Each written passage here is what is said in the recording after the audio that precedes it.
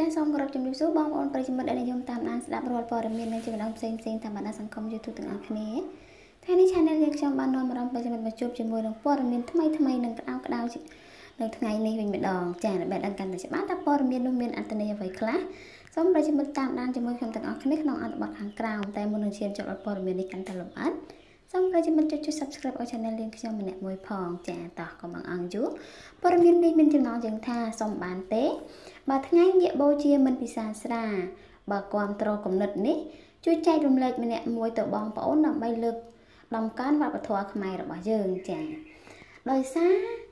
ស្រាបានជាមានកំហឹងនឹងអំពើហិង្សាការរំលោភសម្លាប់គ្រោះថ្នាក់ចរាចរណ៍មនុស្សច្រើនរងគ្រោះតែគ្រឿងស្រវឹងមួយនេះ នាងខ្ញុំមិនអាចហាមអ្នកលោកហើយក៏មិនអាចហាមអ្នកផឹកទូទាំងប្រទេសបានដែរថ្ងៃស្អែកជាថ្ងៃ15កើតខែមិញដែលយើងនាំគ្នាប្រារព្ធពិធីមិបូជាហើយដើម្បីអបអរពិធីបុណ្យព្រះពុទ្ធសាសនានេះនៅប្រទេសមួយចំនួនដែលកាន់សាសនាព្រះពុទ្ធគេហាមមិនអោយលក់ស្រាទេចំណែកឯនាងខ្ញុំក្នុងនាមជាប្រជាពលរដ្ឋខ្មែរម្នាក់កាន់ព្រះពុទ្ធសាសនាសូមហាមបងប្អូន11នាក់ មិនអោយញ៉ាំស្រាក្នុងថ្ងៃស្អែកចា11នាក់មានម្នាក់ឈ្មោះឋាន់គឹមសួរ2អាចារ្យធំ3ប៉ែនចម្រុងចាសំទោសហើយនឹង4ពេជ្រសេរីរត5បានចរិតនប់បញ្ញរិត